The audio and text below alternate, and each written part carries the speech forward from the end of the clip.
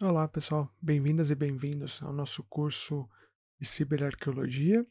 Na verdade, aqui a gente vai tratar a parte teórica do curso, que é a parte sobre a cibernética. A gente vai estudar um pouquinho a história da cibernética, a trajetória da cibernética, até ela chegar àquilo que a gente denomina por ciberarqueologia, que nada mais é do que o diálogo, né? o encontro da cibernética com a arqueologia.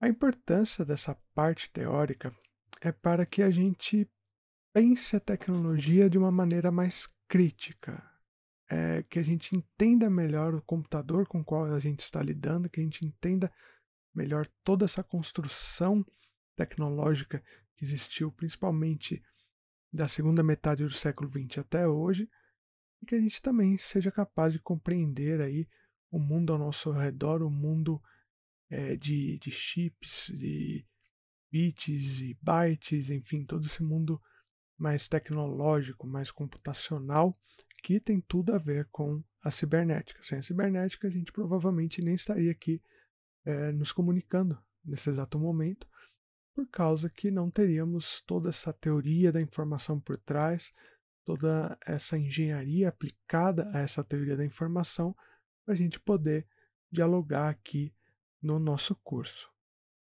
Então, a ideia é que a gente forme, né, que a gente discuta, que a gente é, se torne mais crítico daquele mundo tecnológico ao nosso redor, porque é importante entender como que a gente chegou até o momento em que estamos. E para que a partir daí a gente possa pensar para onde iremos também. Então, eu vou aqui brevemente fazer a apresentação do nosso curso, que vai ser dividido em nove encontros, teóricos ao longo aí dos próximos dias, das próximas semanas, ou conforme vocês forem assistindo a aula aí no tempo de vocês. A aula 1 do nosso curso vai ser é, um primeiro contato aí sobre a ciberarqueologia, o que é, né?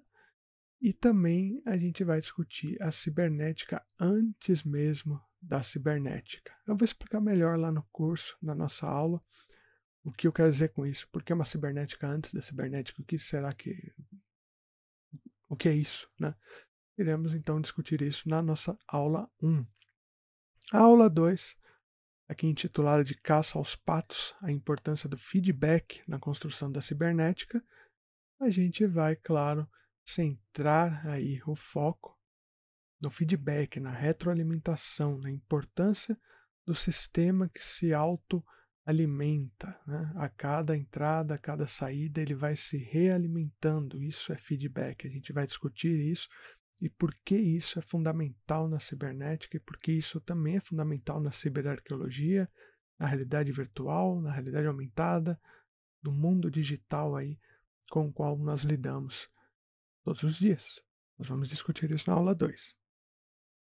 A aula 3 vai ser a aula sobre robôs. Eu gosto muito de robôs, mas é, não é só por causa de um gosto pessoal que essa aula está aí.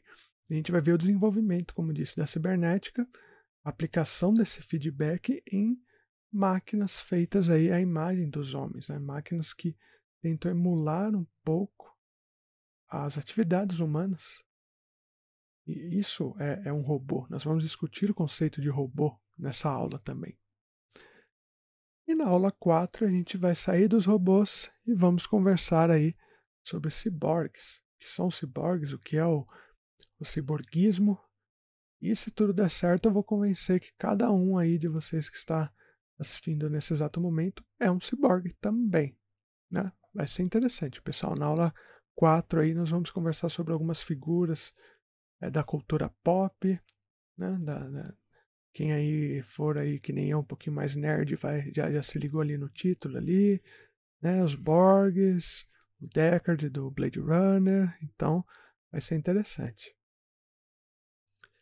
Aula 5 é aquela aula assim que a gente vai viajar, né? Que é aula sobre LSD. Nós vamos discutir um pouco sobre a virtualização do espaço a partir da utilização de, de drogas, né? É, no caso aí o LSD, como que principalmente o, movimento da contracultura foi importante também no estudo cibernético e a questão da realidade virtual. Como que a gente imaginou aí o começo, como que o ser humano imaginou o começo dessa realidade virtual.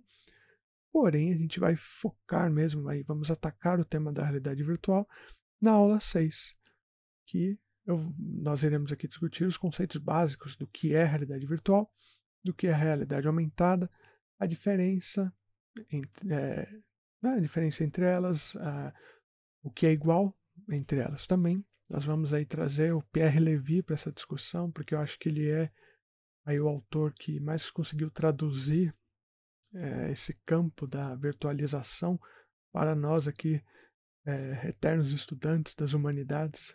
Então, acho que o Pierre Levy é uma figura fundamental, ele vai estar aí no centro da nossa aula 6. A aula 7 é uma aula que eu gosto muito, porque nós vamos falar de jogos, jogos eletrônicos, nós vamos discutir o que é arqueogaming, qual é a relação entre o jogo e arqueologia. Existe essa relação, será? Eu apostaria que existe. Então, são todos e todas convidados aí para a gente discutir isso na nossa aula 7 sobre jogos eletrônicos. aula 8 é a aula sobre pós-humanismo. Pós-humanismo aí talvez seja o mais distante que a cibernética chegou e tem chegado. Nós vamos discutir um pouco sobre como a cibernética é aplicada ao corpo humano e por que alguns autores discutem é, isso, porque alguns autores dizem que estamos aí nos aproximando do pós-humanismo, do transhumanismo. Nós vamos discutir isso na aula 8. Tudo isso para finalmente na aula 9 a gente chegar ao termo né, que dá nome a esse curso aqui da UFMG para vocês, que é Ciberarqueologia. Nós vamos discutir na última aula desse curso, última aula teórica desse curso, o que é ciberarqueologia, esse diálogo entre a arqueologia e a cibernética. E eu espero que quando a gente chegar nessa aula 9, vocês entendam então por que, que a gente fez toda essa trajetória desde a cibernética antes da cibernética até a cibernética aplicada à arqueologia no ano 2020, por exemplo.